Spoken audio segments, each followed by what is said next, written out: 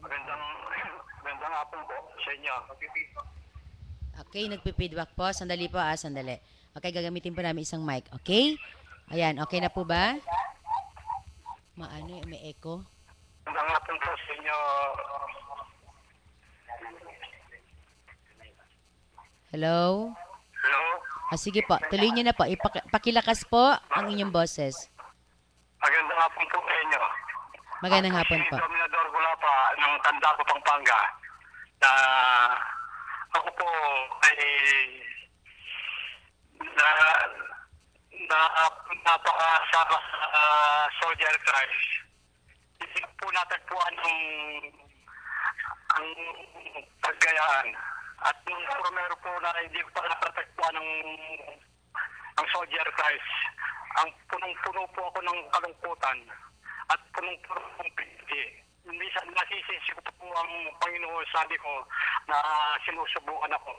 Nung, nung pong nasama ko sa Soldier Christ, nung ko po nalaman kailanman hindi ka susubukan ng Panginoon dahil mahal ka niya. Kaya ano pong nakatagpuan ko ang Soldier Christ na dumayin po ako kay Mama Mary at tuloy pong pumunta ako sa sa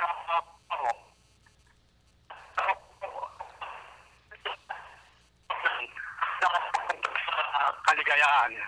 Kaya po, nagpapasalamat ako sa taong kaya sa akin sa Soldier Christ na natagpuan ko dito ang tunay na kaligayahan dito ko nadama.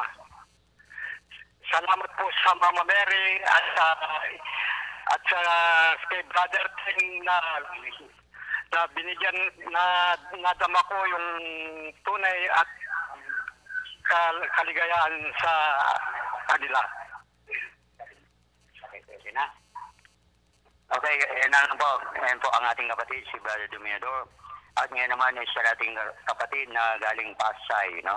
Brother Romeo Pescasio. Uh, kukwento nila kung anong nakita nila na bisyo na dama dito sa fasting area. Brother Romeo, purihin niyo po ang Panginoon. Uh, magandang hapon po, uh, Sister Early. Ako po ay si Romeo Pescasio ng taga Pasay na andito sa Antipolo na ito po ay pangalawa kong pag-renew sa 3 days fasting. Na andito po ako dahil nga po sa kasakitan na naitulot sa akin na ang kasalanan ko to eh ako'y humingi ng awat habag sa ating Panginoon na patawarin niya po ako sa aking kasalanan. At ah, salamat din po sa mga biyaya na pinagkakalob sa, sa akin na may, may kapal. At bago po ako napunta rito dahil nga po sa aking sister wife na si Adela na siya ako nang nakatakbo dito sa o, COC dahil sa magitan ng sa niya na ng COC sa kanyang kasakitan na tagal cancer. Siya ang padala sa akin dito sa COC na masaya niya na po isang si na ngayon po ay nagpapalamaman sa puso.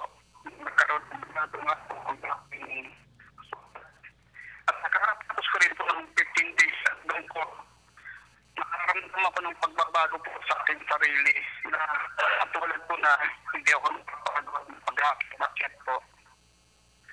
At uh, pinasalamatan ko rin po si Brother Ting na siya nagbigay ng liwanag din po sa akin na bukal sa aking kalooban na nak- nakilala ko ang ang ating mahal kapal na si Jesus Christ.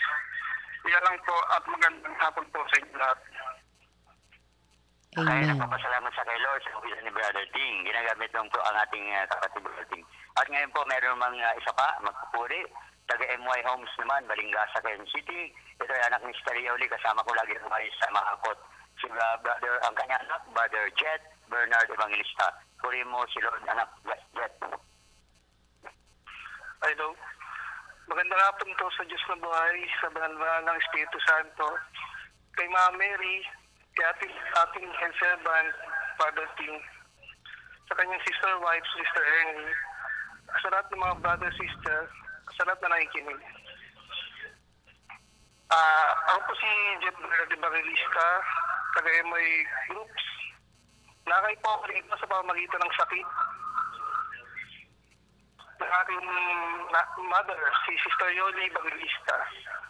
Papasalamat po sa SOC kasi marami po nabago sa akin, especially po yung pag-ugali. Ah, naalis din po yung mga makamundong gawain at bisyo. Nad- nadama ko po rito sa sa 3 days fasting. Ah, umpisa pa lang po, unang araw pa lang po, overwhelming na po yung presensya ni God. Kahit po hindi po ako pinabigyan ng vision, nadama ko naman po na totoo siya at buhay. Ang covenant ko po, um, actually po mag-aakit ng kaluluwa, uh, atin po sa mother unit, every Sunday. Ilan po, maraming salamat. Okay, may Okay. comment siya. Laging ah, hahay. Sumasama sa hay po yan. Pag-ahay po namin sa mga kot, sumasama na po yan. At ito pang huli, magpupuri mga batid. Ah, taga San Mateo naman to. Ang kanyang nanay, humahayo naman sa Pangasinan to. Si Mary Guardiano. Ito ang kanyang anak, si Brother Rodel Guardiano. Okay, Brother Rodel, puri mo si Lord. Ah, good afternoon po. Ah, ako po si Rodel Guardiano ng San Mateo. Pinagpupuri ko po sa ating Panginoon at nakilala ng nanay ko ang ang Soldier of Christ. Ah, dahil sa kanya, ah, ito po ngayon, nandito ako sa 3 days fasting na, pangalawang araw pa lang po namin. Ah, palagay ko po, sa ngayon parang napakalaki na po ng naitulong sa ibang tao na po ako ngayon. Lalo-lalo na po sana sa akin paglabas. Dala ko pa rin yung ganitong pakiramdam. Napakaluwag po. Kaya, sa nanay ko, magpapasalamat ako at hindi siya sumuko sa akin. At pinapangako po sa sa kanya at pati sa, ating Panginoon na dalawa na kami maglilingkod at every Sunday po pangako sa kanya, nasamahan ko siya. Salamat po. Yan, every Sunday, mga ako sila. Ito naman po, meron pa palang panghuli, pahabol, si Shirley. Apa. Ito po ay ah, anak ito ng masipag nating uh, umahayo ng si Brother Eddie Rivera, yung kanyang anak, si Alvin Rivera. Okay, pari mo ang Diyos, anak. Ay, opo. Ah, magandang hapon po. Ah, nagpupuri po ako kay God kasi nandito po ulit ako sa 3 days fasting. Hindi niya po ako pinabayaan kahit naging medyo masama po akong anak. Naligaw po ako ng konti.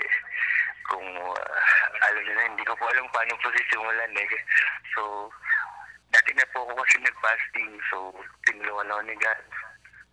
Tapos, hindi ko po in-expect na after po nun, hindi ko po hiniling sa kanya, binigyan niya po ako ng napakagandang trabaho.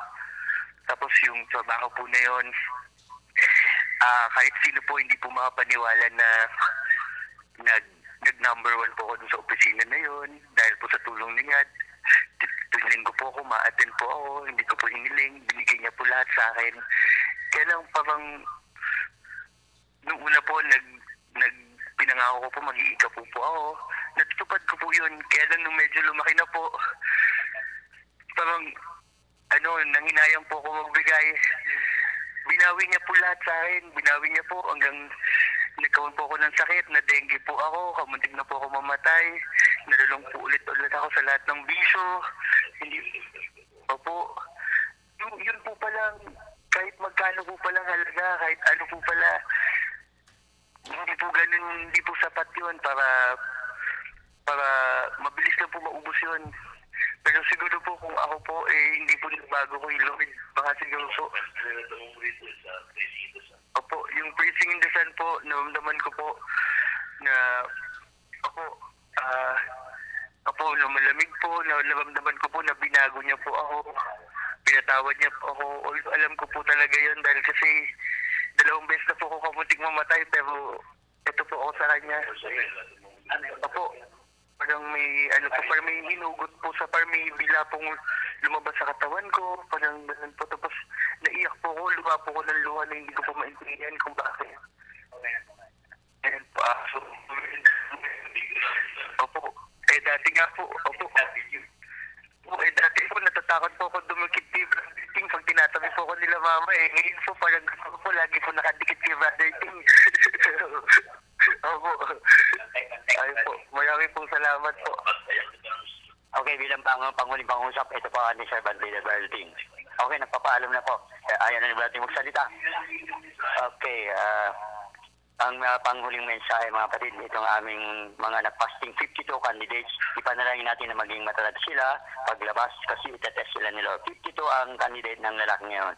Purihin ng Diyos sapagkat marami ngayong ah, marami na magbabalik globally kay Lord, gagamitin niya manggagawa. Di magandang hapon, Sir Early, sa ating lahat na nakikinig sa Healing on the Earth.